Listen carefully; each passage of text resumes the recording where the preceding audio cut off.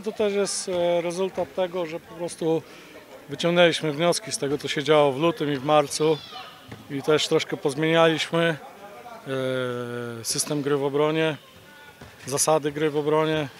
E, Jakby z bramkarzem tutaj dużo też współpracujemy, ustalamy z jakich pozycji on chce, żeby były rzuty i to też fajnie funkcjonuje nam gdzieś tam. E, No mamy nadzieję, że będziemy to kontynuować. Teraz myślę w miarę bezpieczna już pozycja, jeżeli chodzi o baraże i spadek, tak? E, I chcemy walczyć teraz już o dziewiąte miejsce, e, bo nie mamy presji, bo myślę, że to nam, to nam pozostało w tej chwili.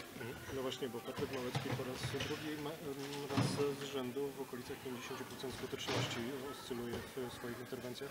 To co się zmieniło w tej odmianie? No, nie będę tutaj wchodził w szczegóły, ale też Patryk e, w lutym nie bronił dobrze i, i on ma swoje ambicje duże i, tak samo pokazuje teraz, że po prostu jest bardzo dobrym bramkarzem, że ten sezon jest dla niego super.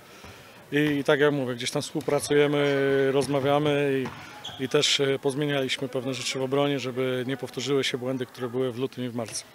Jeszcze na pożegnanie e, z tarnowską publicznością przynajmniej mecz e, z Wybrzeżem Gdańsk.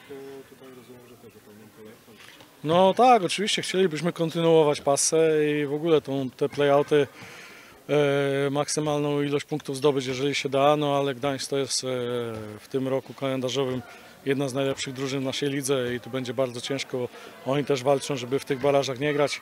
No i mówię, super grają w tym roku kalendarzowym i, i tu będzie bardzo trudny mecz, ale to będzie nasz ostatni mecz w tym roku, w tym sezonie u siebie, więc e, nic nam nie pozostało, tylko walczyć o pełną pulę. Tak.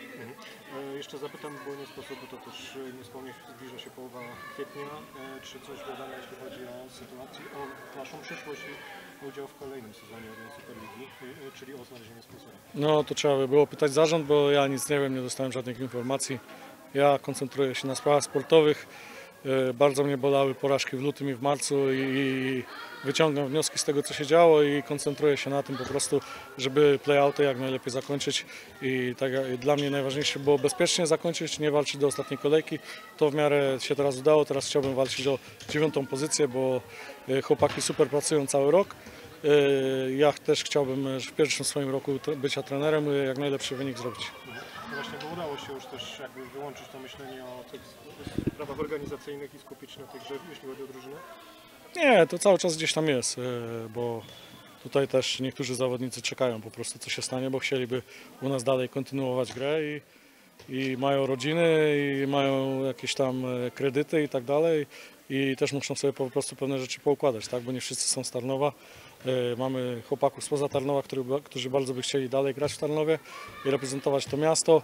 E, Ich dzieci chodzą do szkół, do przedszkoli i chcieliby tu dalej zostać, tak? ale my w tej chwili trzeba by było pytać zarząd, jak tam wygląda sytuacja.